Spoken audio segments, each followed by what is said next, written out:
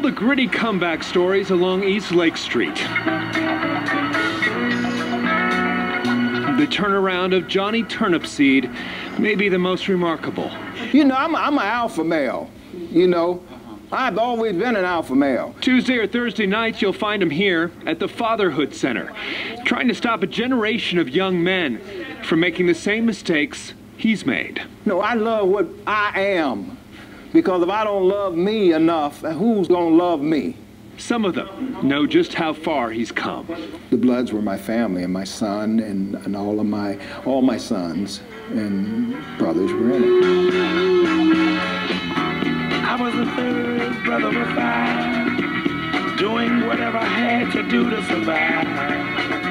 Turnipseed likes to say he was raised by pit bulls, certainly more than his overwhelmed mother or an abusive, absent father. I put a pistol to his head and told him I would kill him at 15. And he knew I would because he raised me. In the early 70s, Turnipseed became a pimp and a hustler. He'd also organized Minnesota's first prison gang and a founding father of the Rolling 30s Bloods, which once controlled all the drugs between Lake and 38th Street in South Minneapolis. We were all just sort of one big, I don't know what you would call us, criminal enterprise you know, but it protected us. And it hurt a lot of people. The family tree includes cousin Reggie Ferguson, the reputed former leader of the Bloods, and 30 other currently incarcerated kin, 10 doing time for murder, including two of his grandsons. His own son is one of the most notorious criminals in Minnesota, Johnny Lee Edwards, an unreliable snitch, hated by both the gangs and the cops. He, he basically had no conscience. And uh, like me, I had no conscience.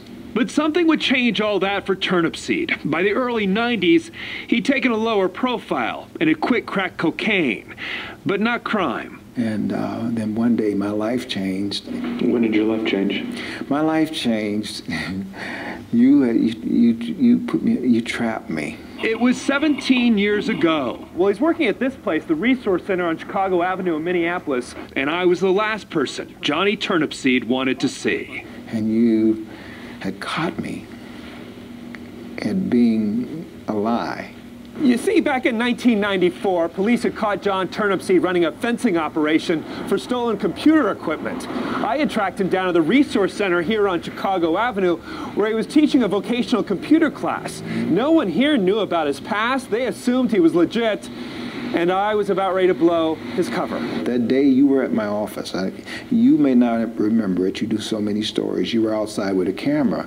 And what happened is you were telling people that you know John Turnipseed, do you know he's he's a criminal? It shamed me for the first time in my life. I, I, didn't even know shame. And I went up in my office and I barricaded myself while you were downstairs and I just started crying. If the police and it wouldn't have stopped me, um, I'd probably be dead today. If you wouldn't have exposed me, I wouldn't be the person I am today because I'd have just went to prison and I'd have got out and I'd have started all over again. Well, I don't remember exactly why I took a chance on him, but I did. But there was a reason he didn't go to prison. Former Judge Gary Larson, one of the most ardent believers on the bench in second chances. That's what, what we do for a living. You know, we, we use judgment. We have guidelines, and I follow the guidelines, but occasionally I don't follow the guidelines because my judgment tells me this is somebody that I should take a chance on. Others took chances too. John was our first customer. He literally. first, literally the first person into our program. Art Erickson runs Urban Ventures, a neighborhood nonprofit in South Minneapolis which runs the Center for Fatherhood. In the central neighborhood where Turnipseed grew up, 80% of the kids don't have fathers at home. Turnipseed walked in one day, and six years later, He'd become director of the program. And I say that father absence is the biggest problem we have in the neighborhood. VJ Smith of Mad Dad says Turnipseed connects with these guys because he's been there. They want to hear realness. They want to hear us get what they call it butt naked. They want us to get for real with them because people are so phony. So phony in the church, so phony in the community, so phony on the streets that they just want to hear some realness. And they get that right here. Along the way, Turnipseed started getting real about his own family. One night, telling the cops where they could find his own son. He knew I turned him in because I loved him. And I, didn't, I, I just didn't want him to die I, as a father.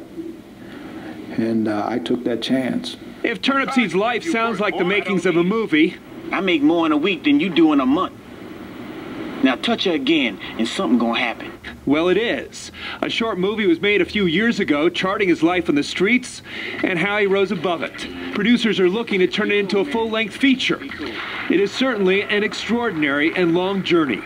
One man making peace in the neighborhood he once tore apart by making peace with his past as well. My father was the most brutal, um,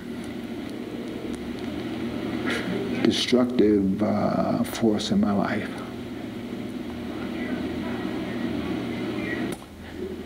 And I love him because he's my father.